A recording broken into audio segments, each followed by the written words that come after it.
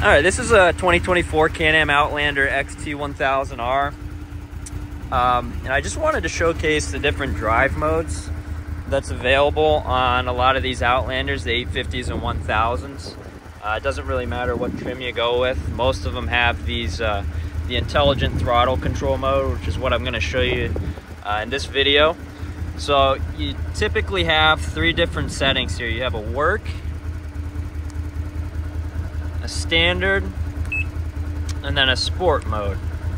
And basically what it does is it controls how the throttle responds to your input um, on the thumb here.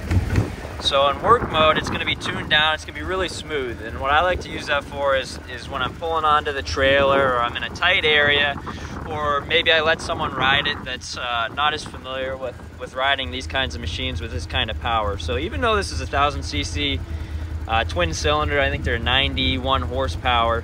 You can turn, tune them down to where they're really easy to ride and pretty tame. So it's nice to have that adjustability here, and I'll show you that right now. So in work mode,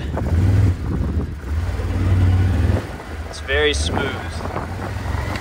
So even if I pin it here, it's not gonna do too much. Now if I go into standard, so click that dial over.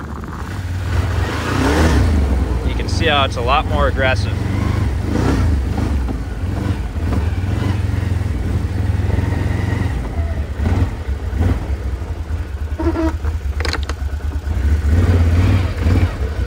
And then we'll do sport here.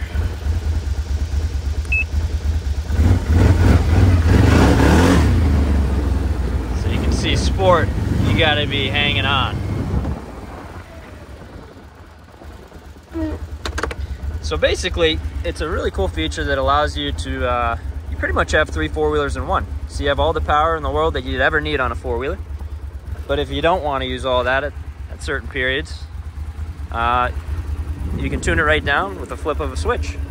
These also have adjustable power steering, which is pretty nice as well. So uh, come check these out at Leisure Time Power Sports in Corry, Pennsylvania. I'll throw you on one. You can take a test ride and mess around with the different throttle modes and see what I'm talking about in person.